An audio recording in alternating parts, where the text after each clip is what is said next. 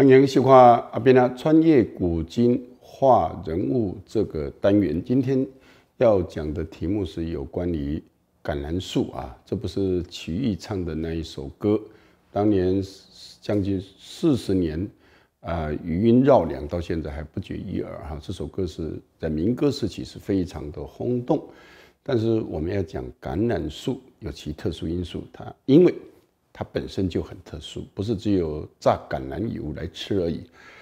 呃，但是要讲进前，咱先讲一下新闻哈，都是伫播出的这个头前三天哈，有一位黄姓驾驶酒驾，哎，非常快速的都没有刹车，撞上了正在横越斑马线跨越马路的一家人。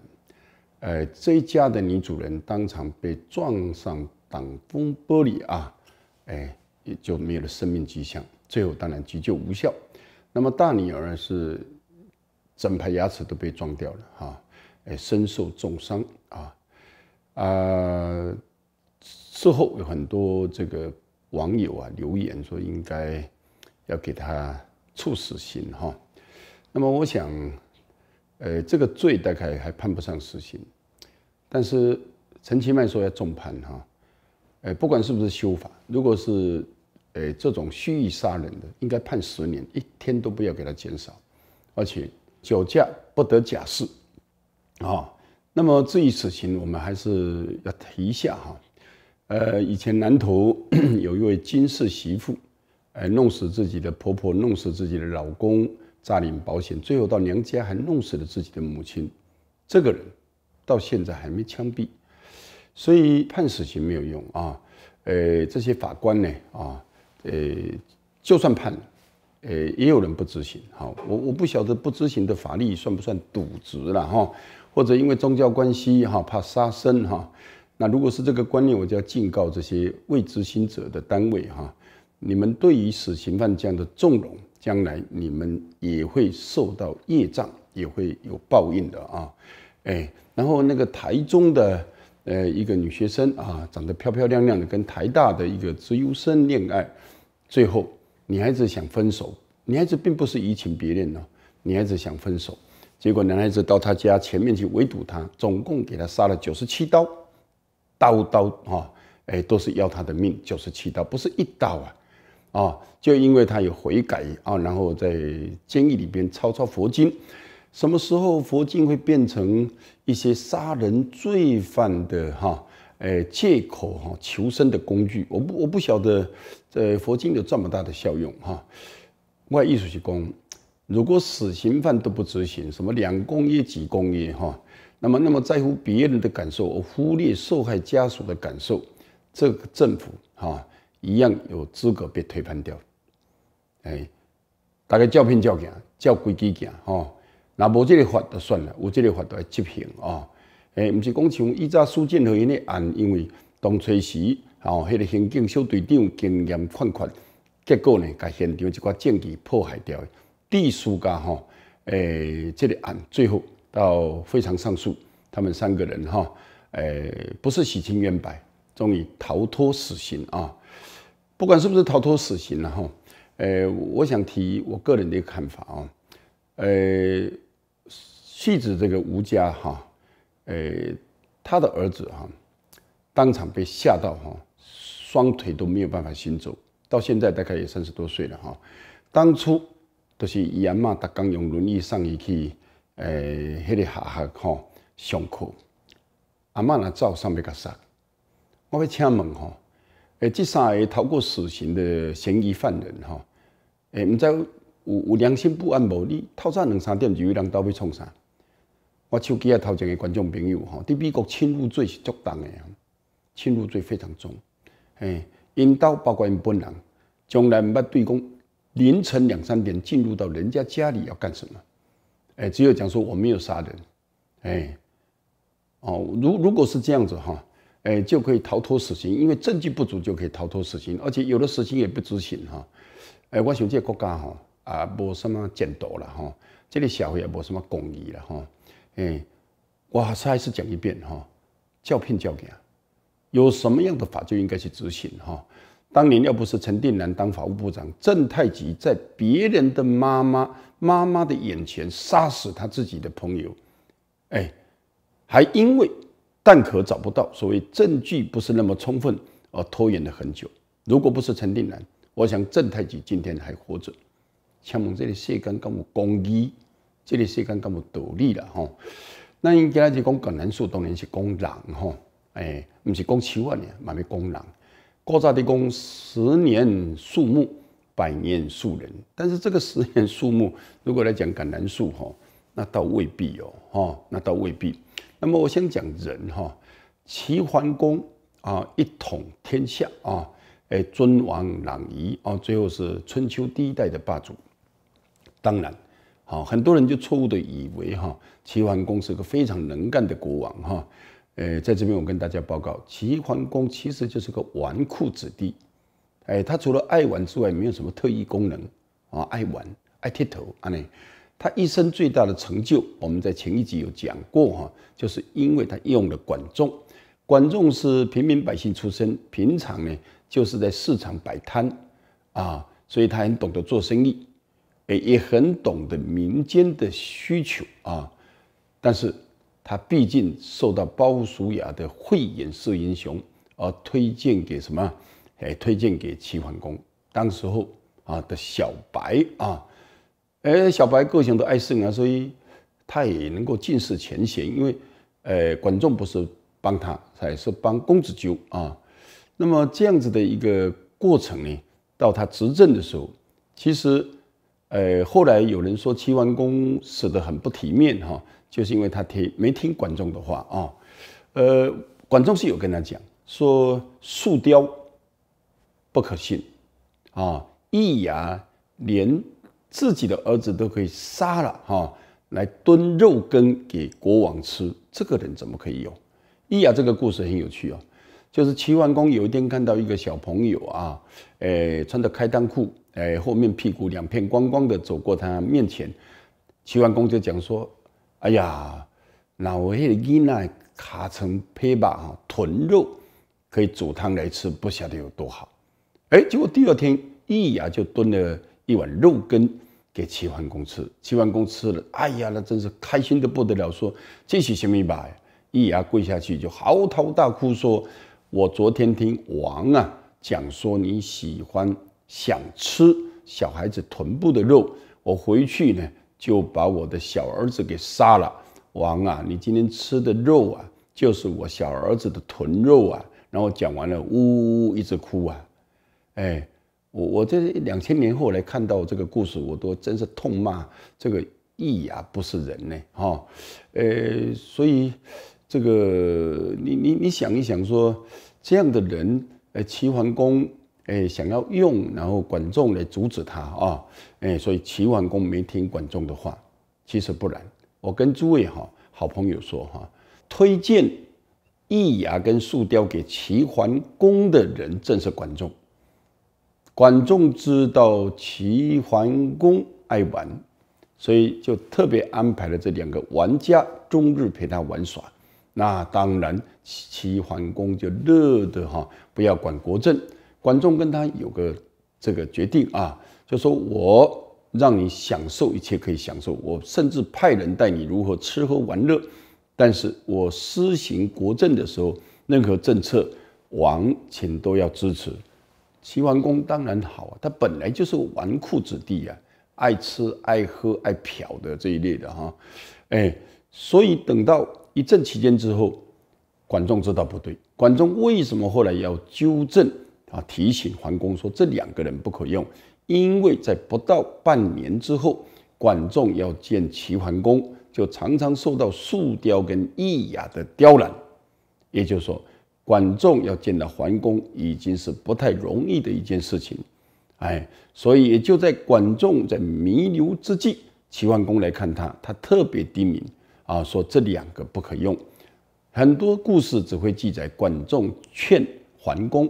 但是没有记载是这两个人是管仲推荐的。我讲人就是当人与人之间的合作啊，就像桓公跟什么哎管仲这样的合作，当然就相得益彰。可是桓公相信管仲的，哎，这不是因为他世人之名，而是因为他贪玩，他授权，而是因为他懒得管国政，他觉得国政太复杂。所以你说这是管仲的信，也是齐国的信，当然就是齐桓公的不信。后来齐国陷入大乱啊，哎，跟齐桓公临死之前所遭受到的那种苦以及折磨以及羞辱，哎，是息息相关。从此啊，齐国国运急转直下。那么在这样子的时候，我们就转到哎，苏丹哎。分为南苏丹、北苏丹，这是全世界非常穷的国家。南苏丹有一句千百年来的俗话，讲说：一个人走走得快，两个人走走得比较远。这是一个没有文字记载的国家，完全是口语相传。因为苏丹多的是沙漠，他们的沙漠有一种曼巴小蛇，黄黄的哈，嘎起吹啊，三十秒人就会死。所以，若要出沙漠去远方做生意，也是要从什么代志？因为祖先呐，长辈都甲因讲，要结伴同行，要注意在地上爬的这些曼巴蛇，这是非常毒的毒蛇吼。所以，一个人行行较紧，两个人行行较远，这就是你讲团结力量大。那么，在这样的一个状况之下呢，哈。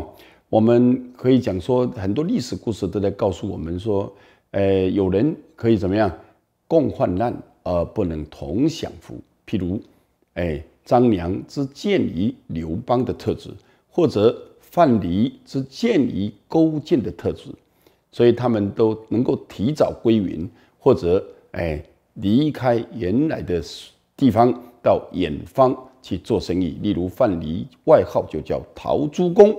我们要讲到橄榄树，是因为我们非常清楚，人与人之间的合作或者帮助，正是人类可以一直往前存续下去的一个重要的因素。不管它是自然的还是怎么样，因为利害关系。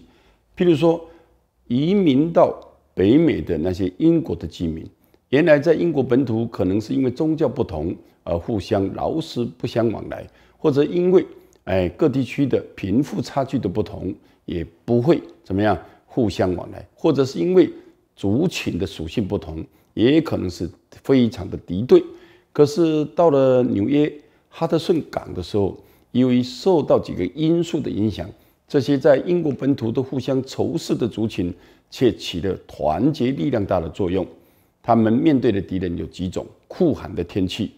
以及农耕器具的不足，他说必须交换啊。那因为天气酷寒，所以必须互相把房子赶紧给盖好，否则人冻死了之外，在人力不足的情况之下，最后可能自己也很难幸存。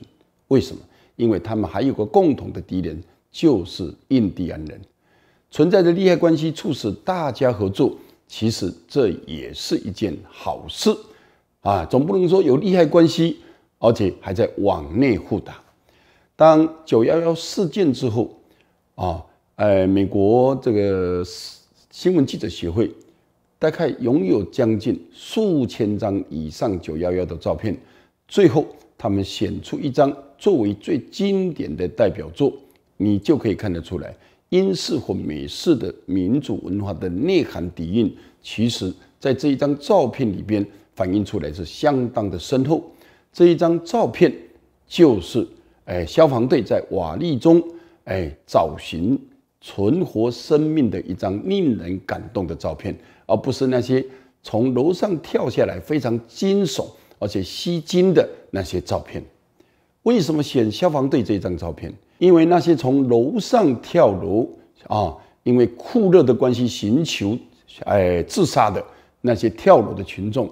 代表着是绝望，而这张消防队在瓦砾中的袅袅的火焰之中，在找寻生命的迹象，代表着是希望。橄榄树是一个非常特殊的树种，种植橄榄树到结了第一颗橄榄要十五年，呃，第一颗橄榄或者所有的橄榄收成之后扎下来的油啊，第一滴油是献给上帝。这是在西奈沙漠犹太人对于上帝最大的礼敬。我们有一集讲到希腊，希腊土地也是非常的贫瘠，它只能种橄榄树以及葡萄。而葡萄能够酿酒，橄榄树能够榨油，所以就兴起了爱琴海以及地中海的对外贸易。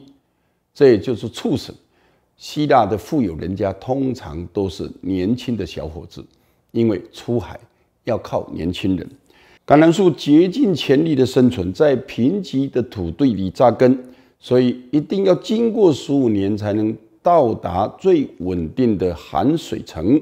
橄榄树最重要的根部是在于地面下无法看见的深处。听说了哈，在加利利哈，呃，位于在以色列的北部，有一棵橄榄树。自西元前三三一年亚历山大征服波斯那个时候，它就一直存活到至今，树龄超过两千三百年。而耶路撒冷的克西马尼园里呢，也听说。有一棵橄榄树的树龄将近一千年。橄榄树之所以能够生存这么多年，还有个因素，这个就是我要讲的最重要的部分，就是它们有自己独特的免疫系统。当一群蝗虫来攻击啃食某一棵橄榄树时，这个橄榄树被攻击的橄榄树，它会分泌一种化学物质的分泌气味啊，来跟蝗虫对抗。而气味会随着风被散播到附近的橄榄树，让它们也开始同时合成，能够分泌哎这种味道的物质来防止昆虫的攻击。所以呢，最先被攻击的橄榄树虽然死了，但是所有附近的橄榄树、整园整块地的橄榄树，却因为哎吹哨者哎的告知。而所有都存活下来，我的意思就是说，树，哈，哎，都可能如此哈。那人呢，是不是更应该合作啊？然后呢，哗哗大叫，人抬人。如果每个人都以自己的利益为考量，那你想一想，这个组织、这个团队还会有救吗？